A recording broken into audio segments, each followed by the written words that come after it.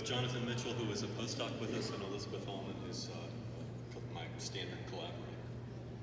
Um, see if forward.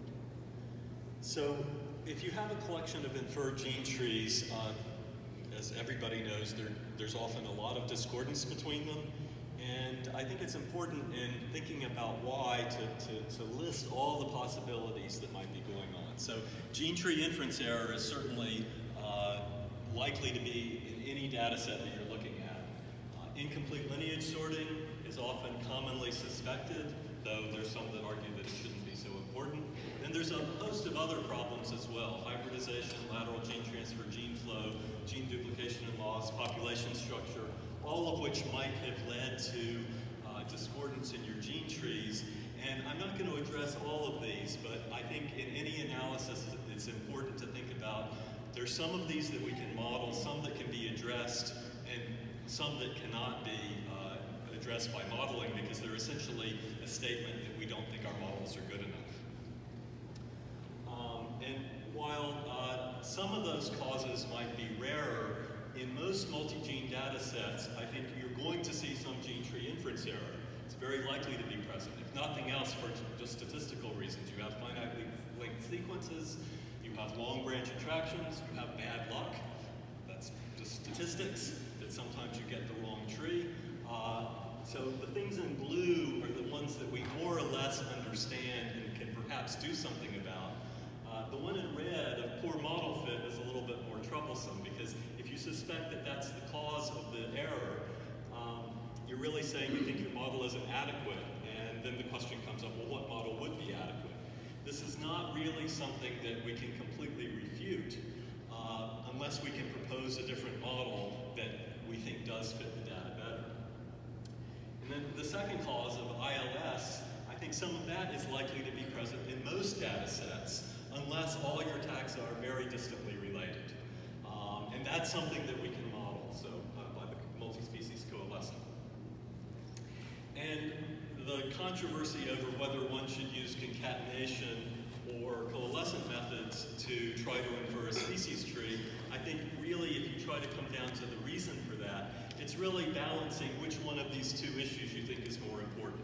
Do you think it's just that you have bad gene trees and everything that, that's bad about them is because you didn't have enough data or you had poor model fit? Or do you think that there really is some incomplete lineage sorting? And the problem with teasing these two things out is the red one, poor model fit, is really not something we can measure that well. So uh, in this talk, what I want to present is two things. One is a visualization technique where you can look at a collection of gene trees and I think get some real understanding, just in an informal, intuitive understanding of what the topological incongruence between those gene trees is really telling you. And then there's also a formal statistical hypothesis test that goes with it that I'm going to be a little bit lighter on, though I will use. Um, the overall approach is looking at quartets displayed on the gene trees. And I want to be clear, I'm not looking at individual gene trees, I'm looking at this mass of gene trees I'm comparing them all together, trying to get a sense of that one set. Um, in particular, it's going to be uh, an approach that's robust if you have a few sort of poorly behaved gene trees that, that are outliers. Uh, they're not going to be much of a problem. Okay, so just a, a quick uh, comment on the multi-species coalescent model. This is the standard probabilistic model of ILS in a species tree. It describes the, the production of gene trees within the species tree. Uh, in my notation, whoops, let me go back. Uh, in my notation, I use lowercase for species and then uppercase for sampled genes within the species. So here, um, the species tree, lowercase a and b are sister taxa, but the gene tree that's formed within those has B and C as sister taxa. Not taxa, sister gene lineages, I think that's would be better to say. Okay, so this is a, a, formal model we can write down, we can make predictions from it, we can understand it, we can use it for inference. By a quartet, these have come up before, but just to, uh, to review you what these mean, uh, a quartet is just a, a unrooted tree on four taxa. Okay, so if you have four taxa A, B, C, and D, there are three possibilities of, of, of resolved trees relating them. And the key reason uh, these are worth looking at in terms of the coalescent is uh, the following fact. If I have A, B, C, D on the species tree, so this is the species relationship, then under the multi-species coalescent, when I look at gene trees, the probability of having exactly the same quartet displayed on the gene tree is larger than the probability of either of these other quartets. And these others are equal. So, um, in a little bit more detail, those probabilities actually depend on the internal edge length of the species tree quartet, the length of that edge measured in coalescent units, and we can say exactly what these probabilities are. So, but roughly, the thing to think about is if the edge length is really long, then this thing will be essentially one. All your gene trees should match your species tree uh, for that quartet, and these would be zero. On the other hand, if the branch length on the species tree is really short, then these are all going to be about a third. They're going to be more or less equal in probability. Okay, and from a collection of gene trees, assuming it came from the multi-species coalescent, which I'm not necessarily going to assume later on, I can estimate what those three probabilities of the um, gene tree quartets are just by looking at the relative frequencies within my collection of gene trees. So I go through and I count how many gene trees display this particular quartet, and I divide by the total number of gene trees, and similarly for the other two. So I get three numbers. And what I can do with those is produce a plot.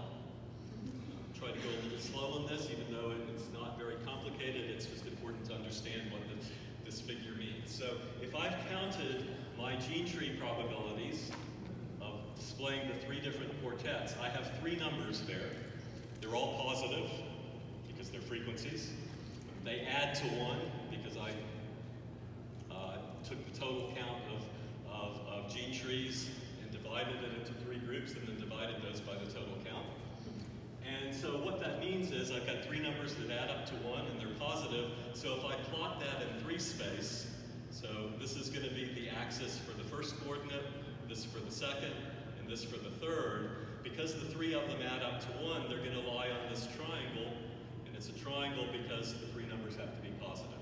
So I will get some point, if I compute what the, these numbers are for a particular gene tree collection, I get a point in that triangle. And what I'm going to be doing is taking that triangle and viewing it face on. I'm going to call the triangle the simplex, probability simplex. And instead of putting that point there, I will put where it appears in that head-on picture. Okay? And again, if this first number were 1 and these two were 0, then I would be looking at 1, 0, 0, which is this point right here, which becomes that. If the second number were 1, that would be 0, 1, 0, which is that corner, which is that point.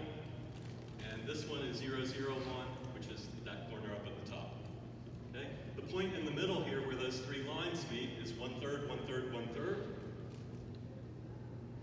And the reason why I've drawn those three lines is because of the fact that I mentioned on a slide or two ago, which is under the multi-species coalescent, I know that the probability of the true uh, species tree topology appearing on a gene tree is greater than or equal to the other two.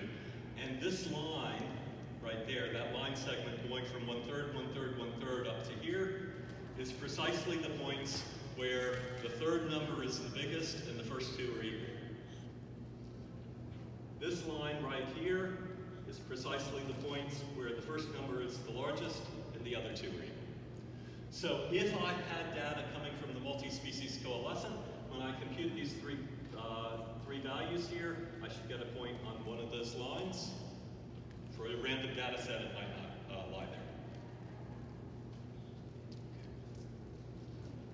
Okay, so if I plot uh, this point for all four taxon subsets, let me think about two sort of hypothetical data sets. If every one of my gene trees was equal, was exactly the same, then what I would get is that I would have some points up there, some there, and some there. So that's the plot I get if my gene trees are all identical. Of course, we never have that. If we had that, this plot. Uh, on the other hand, if all my gene trees came from the multi-species coalescent, which that never is true, with no error, and I had infinitely many of them, then I would get points only on these three lines. Okay? So there's already some potential here to judge if you think that you, what you really have is all gene trees should be identical, but there's some error, then you should expect these three points to be plotted, but maybe as clouds rather than as individual points. And if you think that things are coming from the multi-species coalescent, you should expect your points to lie along those three lines, perhaps spread out a bit. Okay, so let me show this with some simulated data first. This is uh, simulated data from uh, Mirarab and, and that was done uh, for testing Astral. Um, I've stolen it so that whether my simulations were fair.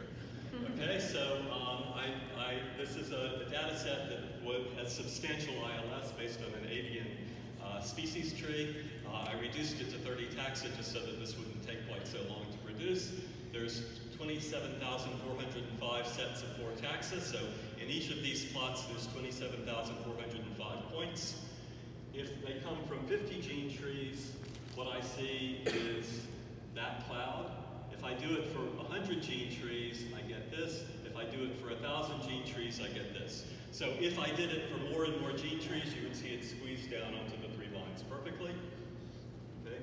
These are gene trees simulated under the multi-species coalescent. So all you're seeing is the sampling error, the fact that I'm taking a finite number of gene trees. There's nothing about inference error here. Okay, the gene trees are all sort of perfect.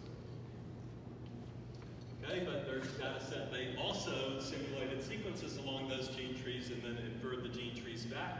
And that's what this is. And uh, if I go back and forth between them, that's for the perfect gene trees, that's for the inferred gene trees. What you see is there's just a little bit more spread in the cloud. Okay? Now, this is all simulated, so of course there's not substantial problems with it. But it's still a, a useful thing to think about. Okay, so summary, and then I'll give, give a few uh, quick data, uh, real data ones. If I had perfect concordance of, of the gene trees, I would see only points at the corners. If I have ILS, I expect points on the line segments. Sampling error, finite number of sites or finite number of gene trees. The points spread out a bit from there. Moderate gene tree inference error, which I can't really demonstrate for you because we don't know what that means really. Uh, I should expect further spread of the points. And if I have any points far from the line segments, then that's an indication that the MSC doesn't fit or I have really big problems with inference error. Okay. Now, we can formulate a hypothesis test, which I will show you nothing about. Uh, that uh, it's a non-standard test. It's uh, appearing in the statistics journal that tests how far apart, uh, how far points are from the uh, line segments. Okay, so a few empirical examples. So first one, yeast. This data set was mentioned earlier. So this is a subset of the yeast from the Rokas paper. Seven yeast plus one outgroup. Um, and here's the plot. Um, this is a relatively small data set. There's only 106 gene trees, but what you see is there's points that are on the lines, there's other points that are pretty far away, depending on what p-value you pick. Uh, but the ones that are blue in both of these, the p-value uh, tested uh, for them, uh, they're all pretty, pretty large. Okay, and uh, this in this particular data set, these red points have been hypothesized by others and also by us uh, as signs of some hybridization or other gene flow. Okay, here's the mammal data set that uh, was from Song et al., reanalyzed by Mirarab, very controversial if you read the papers of Springer and Gatesy. This is the plot. Okay, so Springer and Gatesy argued everything here was gene tree inference error. I find that a little hard to believe with this figure. It looks to me like that's, assuming it's the coalescent, is a little bit simpler hypothesis. Next one, butterfly data set. This was a data set that was again arguing for uh, hybridization. There's, depending on which, uh, how you set your, your test level, there's a lot of points that are along the lines. There's others that are pretty far away. Only these are the ones that were they were focusing on in this paper for indicating hybridization. There's some other possibilities depending on how you want to do the test. Okay. The final one I'll mention is a fish data set. Um, a large number of gene trees. These are uh, swordfish analyzed by several people. This is one where I don't know what this means. um, the paper uh, where this came from, they were arguing strongly there was a lot of hybridization. That's certainly a possibility. But also, unlike the other ones, you don't see any real separation of these red points from the blue points. So whether they're just extreme inference error or hybridization, I think, based on this plot, you simply cannot tell. It requires more analysis. Okay, so I will stop there. A few references.